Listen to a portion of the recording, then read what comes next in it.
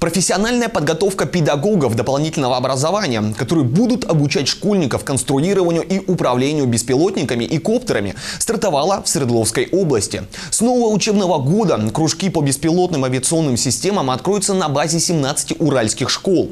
Как отметил заместитель министра образования и молодежной политики Свердловской области Юрий Зеленов, цитирую, Порядка 160 педагогов, в том числе из кванториумов и IT-кубов, начали практическое обучение.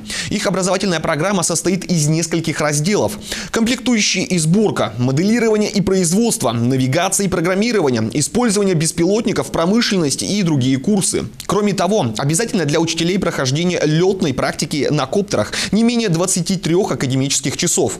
В итоге мы получим квалифицированных специалистов в этой отрасли, способных на высоком высоком уровне преподавать детям основы нового, востребованного в современной промышленности технического направления. Конец цитаты. Отметим, что ранее губернатор Свердловской области Евгений Куйвашев распорядился оснастить школы оборудованием для получения навыка по конструированию и управлению беспилотными летательными аппаратами. На это выделено свыше 285 миллионов рублей из федерального и областного бюджета. Напомним, Свердловская область вошла в число 30 пилотных регионов России, которые в 2024 году получили финансирование для организации обучения по разработке, производству и эксплуатации беспилотных авиационных систем.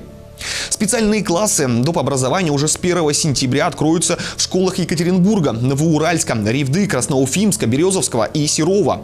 Для всех этих образовательных организаций будет приобретено оборудование для обучения детей конструированию и управлению беспилотными авиационными системами.